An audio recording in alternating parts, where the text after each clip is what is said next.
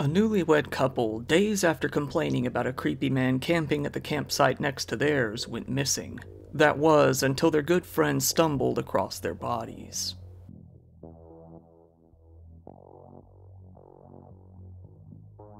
Kylen Schulte was born in September of 1996. Four years later, her brother was born. She attended high school in Billings, Montana, where she was part of the 2014 graduation class. She even worked part time as a welder while she went to school. Upon graduating, she got more and more into what people would call the hippie lifestyle. However, her life wouldn't be as carefree as she would like. Kylen was stuck in an abusive relationship. On top of that, she would lose her brother. In 2015, when he was 15 years old, he was shot after tapping on the window of a friend at 2:30 a.m., having been believed to have been an intruder. Kylen became depressed. The drastic change in her personality was evident to those around her. Feeling it was time for a change, Kylen's father suggested that the two start over and move out to a small town called Moab in Utah. In 2019, Kylen bumped into a woman named Crystal Turner while hiking in the mountains. The two instantly hit it off, falling pretty hard for each other. Crystal had also just recently moved to town herself. They had a lot in common, with both of them enjoying hiking, camping, and fishing. Kylen slowly started coming back to life. Living in a new town with new faces, having a new girlfriend, and really diving into her hobbies had brought her back into being the cheerful person she once was. In April of 2021, Kylen Schulte, now 24 years old, and her girlfriend, Crystal Turner, now 38, moved in together and eventually got married after having been together for two years. Both of their families were very happy to see the two together and to see how happy they seemed. Crystal's mother said, Oh, yes. They were both so happy. They were just ecstatic. it was the most beautiful wedding I've seen. They worked at a food co op together while Crystal also worked at a local McDonald's. Their friends and coworkers said that they were always a joy to work with. The two would often spend their downtime camping, often spending a lot of time in nature with their pet rabbit. While doing so, they would frequent a local bar called Woody's Tavern in the town of Moab. The two were often seen laughing, smiling, and just having a good time with friends while pounding down the drinks. The two women were, notably, more focused on each other more than anyone else, according to friends. One night, they were doing just that. That night, their friend named Kayla Borza met up with the two and heard a pretty disturbing tale. Apparently, the two women were repeatedly being creeped out by a man staying at the campsite next to theirs. They didn't really say what the man was doing specifically that was skeeving them out, but it really did seem to be bothering them. That night, they decided to make the best of the situation and just head back to their campsite. Nobody left the bar with them, they headed back themselves. Days went by, three days to be exact, without anyone hearing from the couple. Even though they were out camping in the wilderness, it wasn't like them to lose contact for so long, even more than one day most of the time. This started to worry Kylen's dad, living away in Montana, who called a friend of the couple, Cindy Sue Hunter, and asked if she could go out and check on the two. Cindy said, He said, I just found out there was a creeper dude that they were scared of, that they needed to move their camp. All of a sudden, I had a sense of urgency. Cindy went out to the campground and started searching for their campsite. It didn't take long before she found it. She started searching the area while on the phone with Kylen's father, relaying to him what she was seeing. The place seemed ransacked, but the two weren't there. Cindy walked down to a small gulch where she came across a horrible discovery the bodies of her two friends. She couldn't bring herself to really inspect them, understandably, and quickly turned away. Then I saw her body and I turned away, she said. I think something inside me didn't want to acknowledge what I had seen, so I was looking at the beauty of the creek and everything and talking to the father the whole time. I turned around again to make myself see, and it was her. I felt that Crystal was further south and that she had been brutalized more than Kylen. It's just a feeling I have. She added, her arms and legs were at an awkward angle, and I went into shock in that moment. Cindy, fearing for her life and feeling as if the killer might still be nearby, left the area as quickly as she could and called the police, preferring to let them handle the scene. The police came out to the area to find the pair lying dead near a creek fairly close to their campsite. Both of them were partially undressed, all clothes removed from the waist down and covered in gunshot wounds. The wounds were covering their backs, sides, and chests. The police combed the campground, picking through the site for several days. They found all of the usual items that one might find at a camp, with one single tent and a rabbit shelter. The more important findings were all of the shell casings nearby, and there were a lot of them.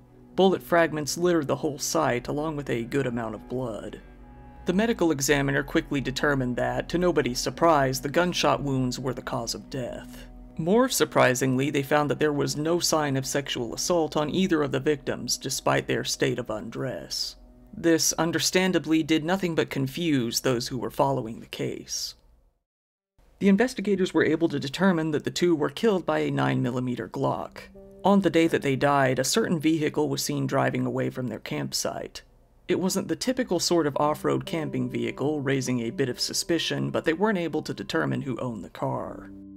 The killings left the people in this small, rural Utah community pretty paranoid. After all, there was a killer on the loose and nobody had any idea who it might be. Locals even felt that the police were trying to keep news about the crimes as quiet as possible. Cindy, the friend who discovered the two victims, said, How are we safe if you have a double homicide? You don't have a suspect in custody. You're not claiming it was a murder-suicide, so how are we possibly safe? It honestly feels like they're just trying to protect the tourism industry in Moab.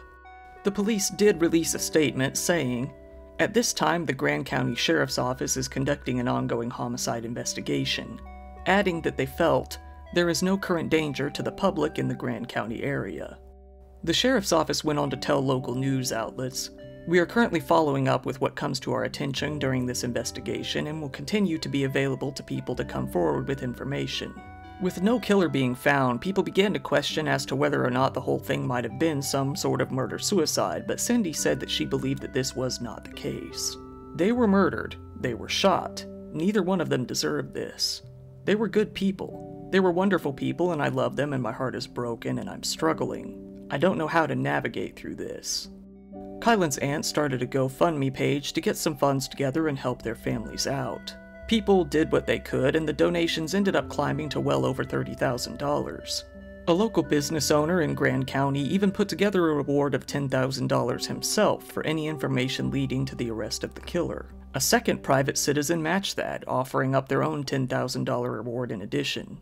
A candlelight vigil was held for the two victims on August 31st, where community members came together to pass out flowers and light lanterns for the two at their previous workplace, the Moonflower Community Cooperative. Kylen was buried next to her brother at Yellowstone Valley Memorial Park in Billings. Kylen's father had now lost both of his kids to violence. Crystal's mother, who didn't have access to the internet, wasn't informed of the crime until much later. She was in disbelief as to what had happened to the two. I went to my knees. and um, I don't know, I can function too well after that. Police seized the two cars of the victims in order to search them. With a warrant, they were able to come up with all sorts of odds and ends from one of the cars. They came up with a journal, a Bible, a newspaper, clippings, mail, pay stubs, handwritten memos, and then some paperwork for a storage locker. The police went ahead and searched this locker as well, but they didn't come up with anything beneficial. Still having basically no information to go off of, the police obtained a warrant to search into a local cell tower. They were interested in obtaining information relating to the days surrounding the murders. The police did come across one man near the day of the murder, a man so unnerving that, when the police pulled him over, they refrained from giving him a speeding ticket as they felt they shouldn't keep their eyes off of him. They said he was so unnerving that the veteran law enforcement officer decided not to write the speeding ticket because he did not want to take his eyes off of him. Later on, when investigators interviewed the man, he told deputies he had seen the couple before and that he did not kill them, but he was not able to account for his whereabouts and would answer questions in non-committal ways. Eventually, deputies found a jacket that may have blood evidence on it around the area where this man said he was sleeping. The public was excited to hear that this may at least be a suspect, but it seemed that this man was ultimately ruled out when it was discovered that he couldn't have possibly been present at the time. Kylen's father, Sean Paul Schultz, decided it was time to pack up his bags and head out to Utah. If no suspect was going to turn up in the traditional way, he was determined to find a way to make it happen himself. He admittedly didn't know what he was going to do once he got there, but he had to do something. Sean Paul set up what he called a clue booth out in Moab, asking anyone who might have any information relating to the case, significant or not, to come forward and tell him what they knew. Over the course of a month, he got over 50 clues that he was able to turn over to the police. He said that only a handful of these clues weren't very useful and that most of what he heard was actually valuable information. In Sean Paul's own words, there were multiple leads, all involving what he called multiple creeps and weirdos. He had heard some worrying news from some of the locals that there might have been some pretty anti lesbian people camping out in the area at the time. Hell, there were even some straight up anti human people in the area, the kind of people that would be unsafe for anyone of any kind to camp next to. My confident law enforcement yeah, I don't think they're going to call me today, but that's only because I've been holding my breath for six months. Do I want to let my breath out? Hell yeah. Do I want to go in there and, and, and give everyone in that sheriff's office a big hug and take them all out to dinner? Hell yeah, I want to. But I'm still holding my breath over here. Moved by this case, a private investigator named Jason Jensen contacted Sean Paul and offered to work on this case for free. Jensen asked him for all of his notes, then told him that he could go home and rest, giving the grieving father a much needed break. Jason Jensen came on to a TV interview in which he detailed that the police had an audio recording of the shooting that day. The audio reportedly contained distant gunshots and screams, recorded from a drone that day. Jensen wasn't the only person who decided to come take on the case. Of all people, Dog the Bounty Hunter himself came out to Moab to talk about the murders, doing his own search for clues in the case. Dog got a slew of his own tips related to the murder and came to believe that the killer had to have been a local, someone who very well could still be nearby. Well, it's a hate crime. Exactly what we figured now that we've checked out our suspect has absolutely got a record of hating people like that. So uh, we believe it's a hate crime. It had to be either over love or hate. You just don't, a passerby just doesn't shoot two women six times apiece. Whoever did it and our suspect knows them. The police came to reveal that they had multiple potential suspects, actually. They didn't have anyone that really stood out as a definite candidate for the killer, though. As much as they looked into these people, nobody really seemed to fit the bill. Some people began to theorize that this case might have been linked to other missing persons cases in the Utah-Montana area. One case that people felt must be related was one of Brian Laundrie, who strangled his girlfriend Gabby in the area of Moab around the same time. On the internet, the cases became linked together at the time, with it being very hard to find mentions of one case without the other. Despite the location and time adding up, the cases weren't actually related at all. Things went quiet for a while until May of 2022. This was when the police dropped a bombshell of a revelation in the case. They believed that they found the killer, without a doubt, and this killer was already dead. The Grand County Sheriff's Office has identified 44 year old Adam Pinkowitz as a suspect in the murders of Kylen Schulte and Crystal Turner. Police, after doing their due diligence, came to learn that one of the victims worked at McDonald's with a man named Adam Pinkuziewicz, a very angry man who wasn't seen as the best worker. Adam had only been in the area for a few months, living the van life. He had no address of his own, often parking at campsites in his van and living his life there. The sheriff's office had learned that Mr. Pinkowitz was in the La Sals and Moab at the time of the homicides and had left the state of Utah shortly after the homicides. You may be thinking, a disgruntled former coworker who lived at campsites? How wasn't it obvious that this man was involved? Well, that's the strange thing. It didn't seem that Adam ever actually interacted with either Kylen or Crystal. In fact, it seemed that they worked very different shifts most of the time. It turns out that Adam was indeed one of the multiple persons of interest in the case, but the police didn't really have enough evidence to fully link him to the crime. You might wonder if Adam was indeed the local who hated lesbians. Well, a surprising twist was that Adam was gay himself, so it wasn't likely that this was a factor in the murders. Police, struggling to find any sort of motive, could only come up with one possible negative interaction between the two. Kylen apparently had once asked Adam to leave her alone when she came into the kitchen to grab some food. This was something that angered him greatly and he went on to complain to the manager. He then went on to complain to other co-workers that she was getting food while she wasn't even scheduled, something that he found immoral? Given that they didn't even work the same shift and that everyone was wearing masks during COVID, it's believed that Kylen didn't even recognize Adam or know who he was at the time. To her, this was just some strange man who was chewing her out while she was grabbing some food. One even more confusing aspect of this case is that it seems that Adam more frequently had negative interactions with other coworkers. In fact, after being told by the manager to work faster, he reportedly threatened to kick her ass. This manager opted to switch out and let another manager handle him. It's safe to say that he wasn't very well liked at his workplace. Adam was eventually fired in the end. It's believed that he killed Kylen and Crystal shortly after, never coming in to pick up his final paycheck. Instead, he disappeared. The police, wanting to investigate Adam, came to find out that he was already gone. Permanently. On September 24th of 2021, months prior, he had ended his own life in a motel room. The police came to find one person who could confirm that, in all likelihood, Adam had killed the two, Adam's ex-lover. Apparently, Adam had driven out to Iowa to speak to this man, where he confessed to everything. This was after confiding in his ex that he had an ongoing impulse inside him to kill, something that likely scared him off and played a big part in their separation. Adam revealed the motive behind the killings to only this man, that Kylen had been, in his own words, bossy to him one day. That was all. That was the reason he killed the two. This ex-partner, feeling that Adam could easily come back and kill him too, didn't go to the police with what he knew. The cops tracked him down themselves and went out to speak to him. As soon as they showed up, he said that he knew what it must have been about. Once he came to learn that Adam was already dead, he no longer had any reason to hold back and told them everything. The police searched Adam's phone, in which they found all manner of alarming red flags. They said that he, in addition to his already apparent anger problems, showed extreme signs of racism and repeatedly fantasized about rape and murder. He would even stalk people by writing down their license plate numbers for later reference. Months before the killings, he wrote, I'm afraid I have an ongoing impulse in me to kill or rape people. I overworked myself, and that's caused me to feel bad and think negative evil thoughts, and this doesn't define me or say who I am. And I can say it another way redundantly if I wish. I'm a free person. He deleted most of the content from his life during his time in Moab and even downloaded an encryption app.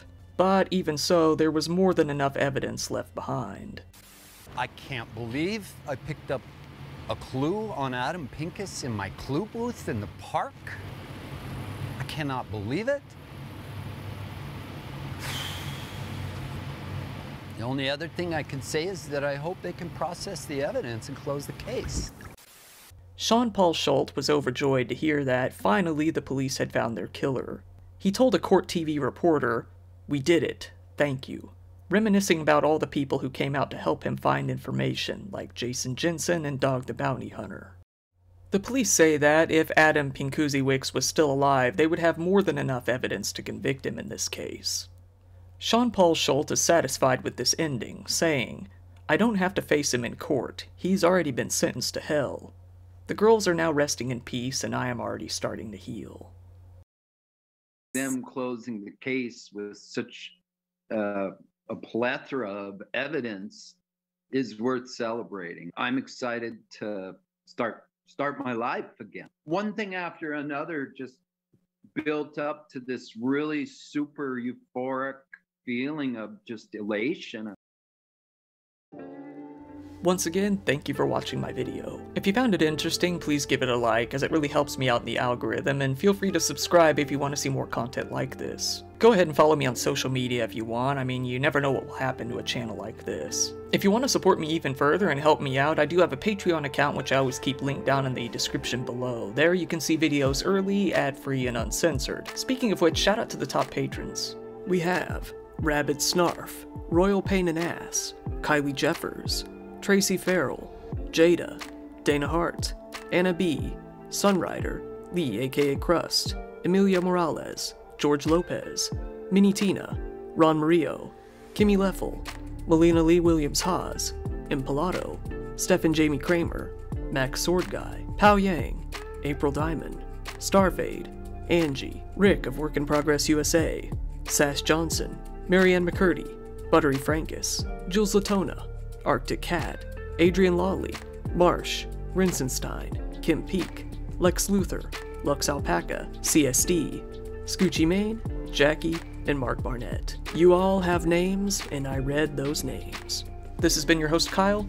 Thank you, and good night.